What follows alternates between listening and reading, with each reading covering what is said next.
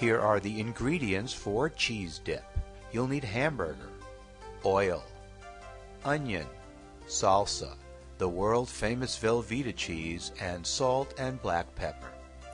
Over a medium flame, heat the oil in a frying pan. Add the onions and cook them until they're translucent. Add the hamburger meat and stir it in, cooking it and adding salt and pepper along the way until it is browned and done. When it's cooked, drain the meat on a paper towel covered plate. Then cut up the Velveeta into smaller pieces. Put it in a dish and then into the microwave, melting it until it's hot and flattened. Take it out, add the meat and salsa to the melted cheese. Mix it well, and you've got the perfect dip for any sports viewing party. Cheese dip from simplefoodie.com.